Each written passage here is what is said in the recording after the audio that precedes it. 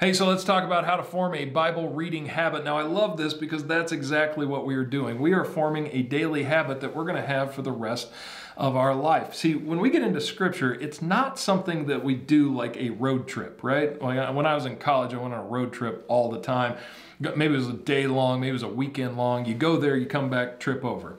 That's not the way Scripture is. It's not something you do, you figure out, you learn everything, and then you move on.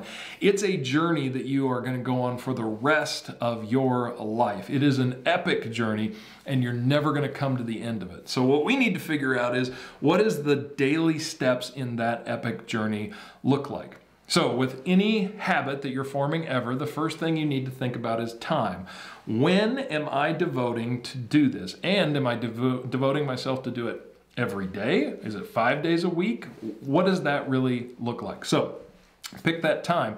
Is it first thing when you wake up in the morning? Is it maybe if you're at work, it's what you're going to do over your lunch break? Is it the last thing you do before you go to bed at night? I got to tell you, this is going to change during different seasons of your life. Um, for me, when I was a young man, I used to do it before I went to bed at night. Now my my mind is mush. I just at nighttime I want my bed. So now I do it first thing in the morning. This is going to change in different seasons of your life, but like what is the time that you're setting aside right here and right now? And Maybe you should set an alarm. Maybe you should send yourself a calendar invite. This is something that you're trying to form a habit. So, what is the time and how are you going to remind yourself to do it? Second thing is a place you can't usually just read scripture anywhere. Sometimes you have to push away, even if it's a little bit. So if you live like in a college dorm room, maybe you're going to find one of those uh, rooms on the floor that's empty. You're going to go isolate yourself there. Or maybe you're going to wait till your uh, your roommate's gone, or maybe you're going to go for a walk. But like you have to figure out that place that you're going to go to. If it's your lunch break, maybe you're going to go out to your car and just sit in your car for 30 minutes on your lunch break.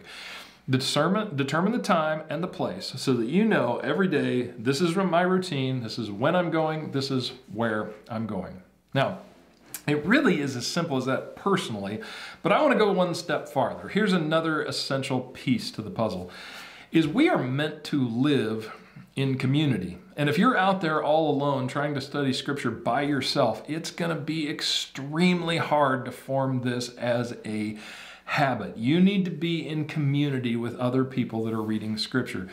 This is why church is so important, but not just church, not just weekend church, but getting involved in a small group is so vitally important. So if you don't go to church, you need to start going to a church. And if you, uh, as you're picking a church, you need to find one with small groups. Now, at our church, 242, that is the lifeblood of everything we do. We have small groups where people are coming together in groups of 10 to 12 people to try to study and understand Scripture for themselves.